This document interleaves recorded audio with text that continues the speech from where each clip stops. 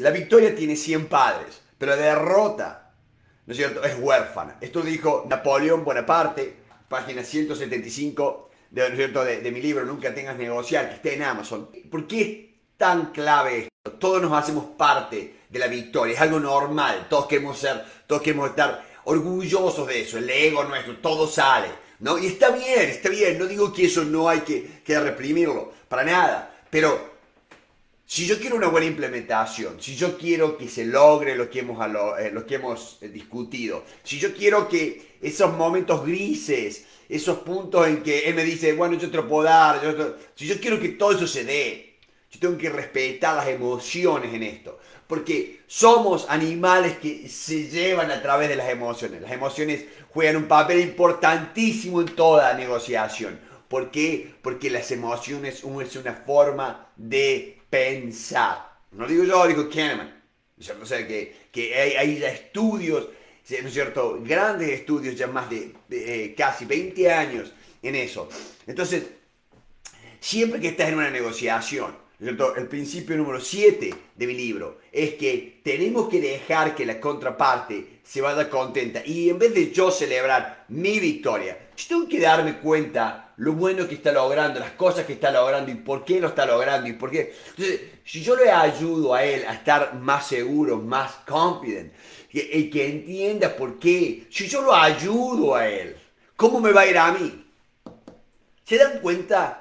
¿Se dan cuenta la fuerza que tiene? Que en vez de que yo lo vea como el enemigo y yo ponerme en los zapatos de la contraparte, al contrario, yo lo veo como mi héroe y yo soy el guía y yo lo ayudo. El que quiere ganar, el que quiere tener una relación, el que quiere... Vos podés ganar o tener una relación. Puedes ganar la parte económica o tener una muy buena relación, ¿no es cierto? Pero también puedes ganar las dos. Nunca temas negociar, te enseña las dos, se puede hacer las dos. Si lo hacemos, obtenemos la relación, pero también obtenemos los resultados. Y también generamos nuevos acuerdos. ¿Por qué? Porque es todo cuestión de darse cuenta cómo el ser humano piensa, cómo procesa y ayudarlo a que procese al mismo ritmo, a la misma velocidad, a la misma, paz que nosotros lo estamos procesando. En el libro, ¿no es cierto? Eh, les explico porque si uno no soluciona esto, muchas veces logramos una excelente negociación, vamos excelentemente y al final la arruinamos. Y si no solucionamos esto, vamos a tener problemas. Y déjame que te cuente una historia este, que, la, que destaca Em, de, John Kennedy. John Kennedy en 1962, em, los americanos, en octubre de 1962, los americanos vieron misiles atómicos, ¿no es cierto?, en Cuba. Entonces un avión B, entonces se arma todo un despelote en, Washington porque veían que estaba, los soviéticos estaban trayendo misiles atómicos. Entonces dice, ¿qué pasa? ¿Cómo, ¿Por qué están trayendo misiles atómicos acá? Nos pueden volar todos Estados Unidos. Entonces ahí en 1960 62. Y entonces ahí empieza todo este, en octubre.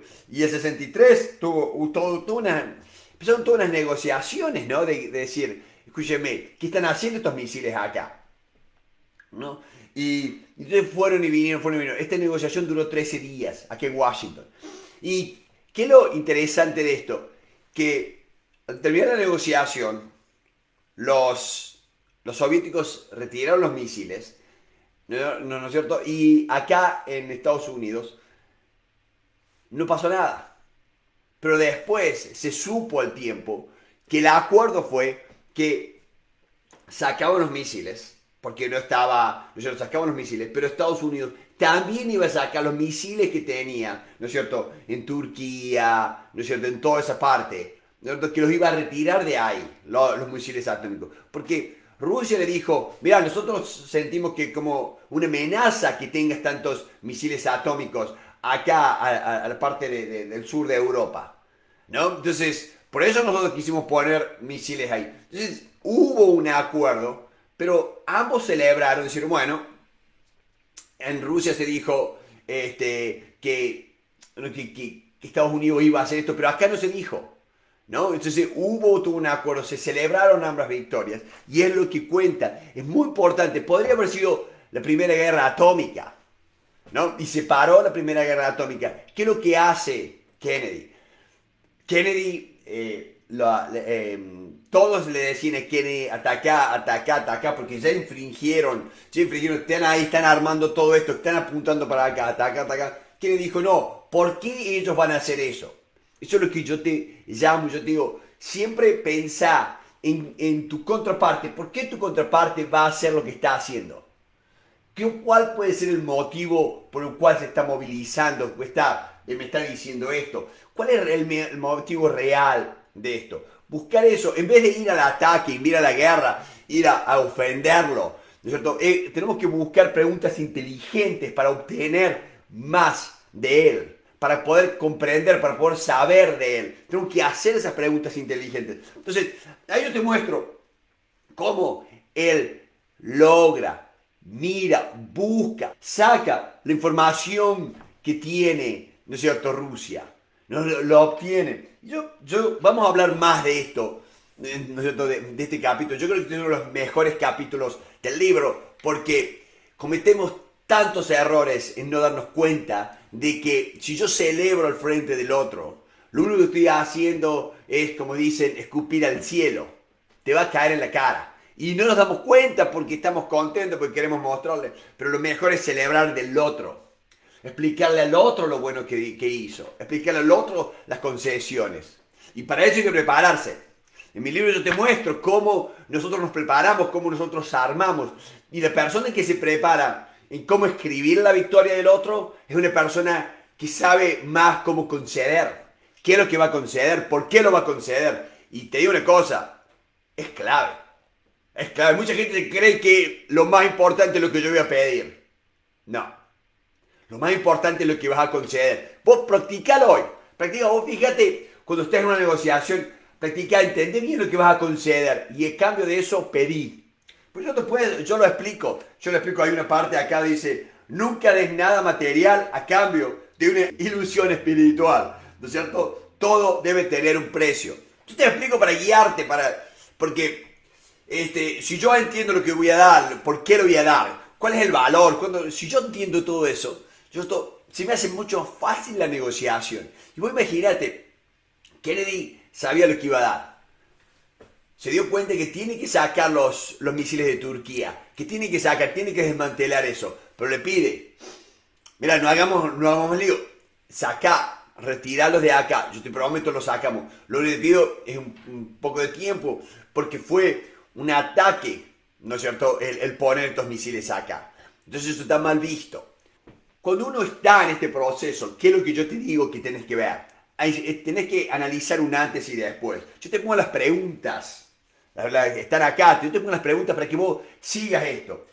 ¿Qué es lo que tiene ahora? ¿No es cierto? Tu contraparte. ¿Qué es lo que tiene ahora? ¿Y qué es lo que va a lograr con esto? Si vos pensás, ¿qué es lo que tiene ahora y qué es lo que va a lograr con esto? Cuando uno, cuando estás en ventas, ¿no? Cuando estás negociando con, con tu socio, ¿qué es lo que tiene ahora y qué es lo que va a lograr si me motiva a que yo haga tal cosa, tal otra? ¿Qué es lo que va? Entonces, eh, o con tu hijo, con cualquier persona que estés negociando, ¿qué es lo que tiene ahora? y ¿Qué va a lograr si nosotros nos entendemos? Y eso es un buen ejercicio para vos, ¿o no? Es un muy buen ejercicio. Muchas veces no nos damos cuenta de hacerlo. Es una pregunta clave. Tenemos que saber, tenemos que ir con toda la energía de saber que yo tengo que explicar eso. Porque si yo no sé explicar eso, ¿Para qué vas a negociar? ¿Para qué vas a negociar? Estás perdiendo el tiempo de tuyo y el del otro. Eso hay que saberlo. Segundo, ¿cómo se siente, ¿no cierto?, con estos resultados. Yo te muestro durante el libro el tema de los resultados. Todos comparamos. ¿Y cómo se va a sentir él? ¿Cómo veo que se va a sentir con estos resultados? Yo tengo que, ahí sí, yo experimento, probar, experimento de que estos resultados sean con algo que yo lo puedo hacer que él compare y él realmente se dé cuenta que son los mejores, o por lo menos de lo que yo puedo darle, para que se le haga el acuerdo. Porque si no, bueno, que vaya y a ver con otro. Pero, pero es, mucho, es mucho más económico que se vaya ahora que después que se vaya la implementación, cuando yo movilicé a mi gente, cuando yo me hice las ilusiones, cuando yo le dije a mi familia, cuando, cuando yo compré el asado porque mi mujer dijo que sí, que vamos a comer asado. O sea, y después tenemos que, comer ensalada, ¿o no? Entonces siempre tenemos que saber eso, ¿no? Otra pregunta. ¿Cómo usará el acuerdo y los resultados de lo que se negocia. ¿Cómo lo usará él? ¿No? ¿Cómo lo usará? Todos estos resultados, ¿qué, ¿qué impacto va a tener? Todo eso es lo mismo. Yo me pregunto, lo miro, lo analizo. Están las preguntas acá para que te prepares muy bien en este punto. Todo el mundo se prepara en lo que yo quiero. Todo el mundo se prepara cuáles son mis intereses. Todo, todo el mundo habla el método de Harvard y lo hace. Y yo estudié con Roger Fisher, yo estudié con William Lewis, estudié en Harvard. Por eso llegué a Estados Unidos. Pero te digo una cosa, el secreto no está en repetir lo que quieres. Eso es un chico de 5 años, como esos, ¿no es cierto?, infelices. Gente que no es muy feliz que dice que tenemos que aprender de los chicos cómo negocian. Los chicos no negocian bien, dicen siempre por qué, por qué, por qué, por qué. Hay chicos que negocian bien. Te cuento una historia. A mi hijo yo le digo, bueno, estamos jugando el fútbol. Y oh, Pablito dice, le digo, mira, si, si haces un gol, te doy 10 dólares. Te doy 10 dólares. Estamos, ¿viste cuando estás bromeando? Sí, bueno, que te doy 10 dólares si haces un gol. Me dice, no, papá, dame, dame este, 5 dólares, pero cada gol que haga de ahora es más. Bajó a la mitad y me pidió. o sea, eso es una buena negociación, porque no me está haciendo el porqué, porque no está interrogándome, porque no, está justamente buscando y está concediendo. Eso es una buena negociación. ¿no? Y él se dio cuenta de eso. Ahí está. Pero no tenía 5 años, no tenía 3 años. Yo ya tenía 12. Ya, ya, entendí el valor, ya, ya era una, hay que ver, y en eso yo siempre digo, tenemos que tener cuidado de que no cualquier pregunta te va a llevar a donde vos querés. Es como, es como digo, no, no, sí, este, eh, cualquier auto te va a llevar a donde vos querés. No, no es, que, no es así. Porque yo quiero, si yo compré un auto de 1978 y yo quiero ir a China manejando y no voy a poder, seguro que tener un montón de problemas. Entonces hay que, hay que ser inteligente si uno quiere ir rápido. ¿Qué, escuchen esta pregunta. ¿Qué estatus va a lograr al obtener este acuerdo negociado. ¿Has pensado en eso? ¿Has pensado en el estatus que va a lograr tu contraparte cuando ustedes se pongan de acuerdo? Muchas veces no nos damos cuenta de eso. Y es uno de los elementos claves de la negociación. Cómo descubrir el dolor de la contraparte. Cómo ver, el problema es algo que yo puedo llegar, pero si yo realmente quiero comandar la negociación quiero liderar la negociación, tengo que descubrir qué lo motiva, qué está motivando ese, ese, ese problema, es el dolor, cómo es, qué es lo que está pasando de Y qué es lo que está justamente es esto. ¿Qué estatus va a lograr? Hay un dolor ahí, ¿no es cierto? Obtener con esto. ¿Qué estatus? ¿Cómo va a cambiar? Hay un montón de cosas que está diciendo porque no estamos, nos vemos movilizados ¿no es cierto? Por dolores del estatus que nosotros queremos y entonces nos hace falta y eso nos moviliza. Descubramos eso. Buscamos lo que no se dice. Está en otro capítulo eso.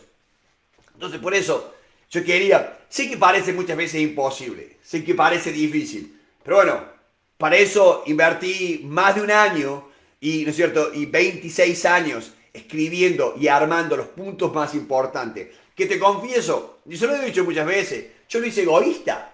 Lo hice en forma egoísta todo esto. Yo no lo hice para publicar un libro, para... No, hace siete años que nosotros estamos utilizando este, cómo, cómo Hollywood comanda, cómo Hollywood hace, cómo estudiamos eh, al ser humano, cómo nos damos cuenta en qué momento. Hace siete años, hace 26 años que estoy en esto. ¿Y por qué? Bueno, cuestión de que a eso me dedico. Pero el año pasado, logrando un acuerdo para, para una, una CEO acá, este, ella me dijo, no, dice, está equivocado. Bueno, pero yo, no, no, no, estás equivocado. La, la, el año pasado fue. Tenés que, tenés que hacerlo. Ella tenía, estaba en una batalla, una batalla en el ballroom, ¿no es cierto? Una batalla, una batalla. Era, este, ella la odiaba a, a, a, la, a la chief ¿no es cierto?, al, del, directorio, ella lo odiaba y era un odio mutuo, un odio mutuo. Y, y, ella lograba todo lo que se proponía, todo lo que estaban diciendo. Había logrado absolutamente todo y más.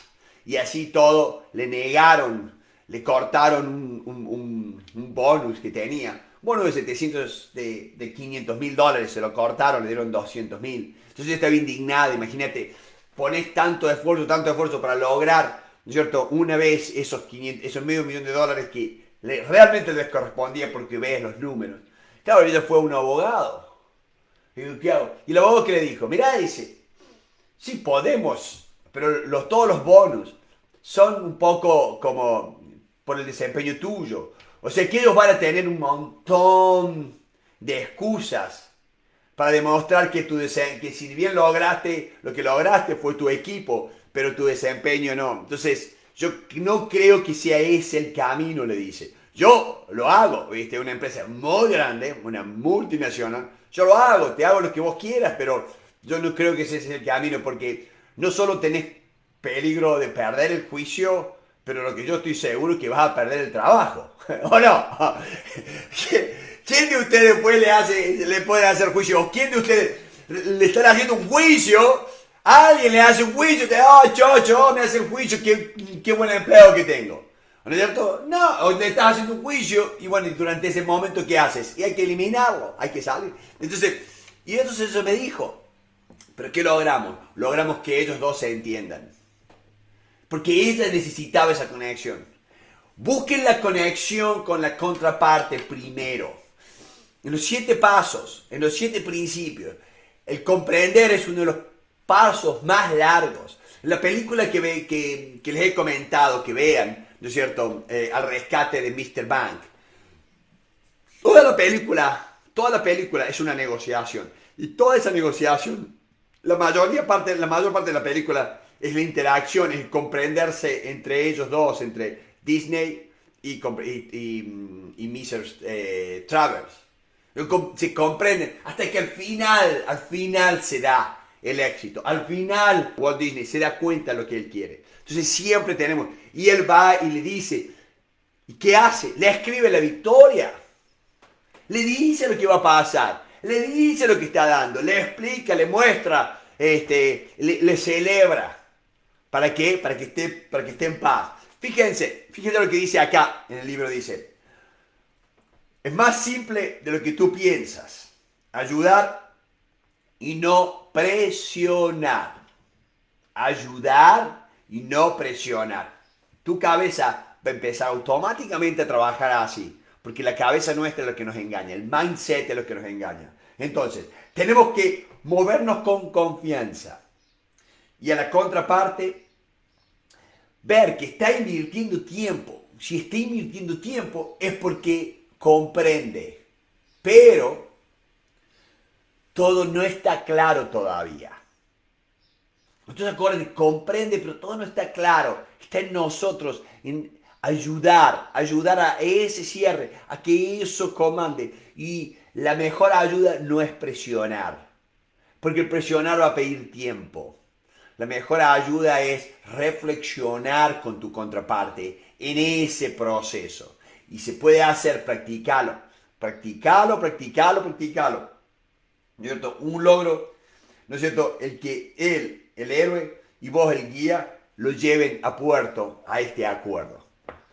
Los recomiendo, está en Amazon, nunca temas negocios. Nos, nos preguntan nosotros muchas veces qué otra librería. Miren, no hay porque Amazon la distribuye en todo el mundo. Acuérdense, nosotros trabajamos con todo el mundo. Está en Amazon, eh, y bueno, se los recomiendo. No se olviden, no, no se ahorren unos centavos, pero pierdan dólares.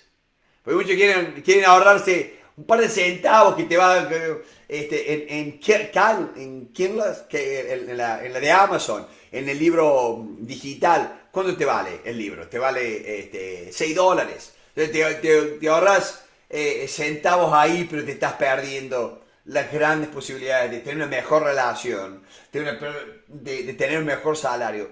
Yo te voy a mostrar acá que si vos quieres negociar tu salario, tu compensación, tu forma de... de, de empezar a negociarlo ya, negociarlo cuando no te hace falta. ¿no? Y todo eso, todas esas pequeñas cosas, cuando nos damos cuenta, nosotros decimos, pues muchos dicen, no, bueno, quiero, quiero ganar más, tengo que cambiar mi profesión.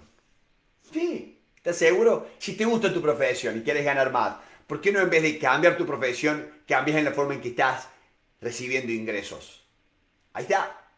Hay que trabajar. Los invito a que vean otro video acá y que todos los días vean un video acá en el YouTube. Son todos gratis, más de 700 videos. Hay un montón de cosas que todos podemos hacer y que debemos hacer porque eh, las relaciones humanas son complejas. Es mentira decir que son fáciles. Es mentira.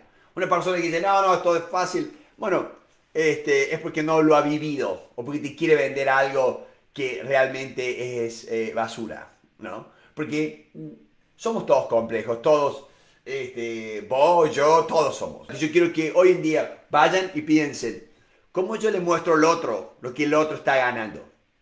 ¿Cómo yo le escribo la victoria al otro? Practiquen eso. Practiquen eso, tiene mucho poder, ayuda muchísimo a la gente a darse cuenta que estás para que ambos ganen, no para que una sola parte gane.